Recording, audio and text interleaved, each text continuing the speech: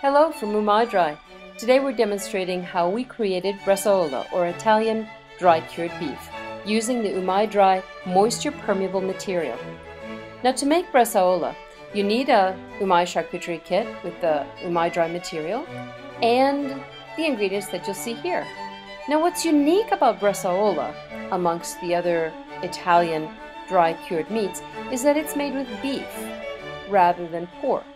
So you're going to start out with about five and a half pounds of beef eye of round and shape it to the shape that you want it, you want your finished product. Okay? So you're going to shape it, then grind the spices, mix together with salt and the Instacure number two, the slow acting cure, and coat the meat very, very well. Then you want to take some butcher's twine and tie it to keep that nice round shape. This is how it looks before you put it in the refrigerator in a plastic bag or you can use a food saver bag to drive the flavors in more deeply. For, well, we did about 14 days. We cured it for about two weeks in the fridge. So at this point, the meat will be very firm, it will be very well seasoned, and it will be ready for you to dry. Now the key to drying is to put it into the Umai Dry material crease the opening so that you have some air channels there, and then insert the VacMouse vacuum aid strip. That will give you a tiny, the tiniest little air gap for the air to be drawn out and a vacuum to be created. Now what you're actually doing is pulling Umai Dry down against the moisture, the moist proteins on the surface of the meat, which it will bond with during the first several days in the refrigerator. So you're going to pull a vacuum, pull the Umai Dry close to the meat like a membrane.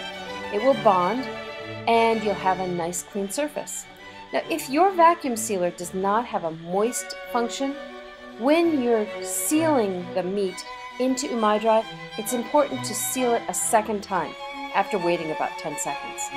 This material does not melt as readily as a regular food saver bag, for example. Then we recommend giving it a second backup seal just to hold that vacuum in place until the bond forms the first week or so in the refrigerator. Okay, so once it's ready, check the seals for clarity, make sure it's sealed end to end, and you're going to put this in the refrigerator for about six to eight weeks, and it will dry like this. Once it's lost about 30 to 40% of its original weight, it's ready to peel out of the umai dry and prepare to enjoy.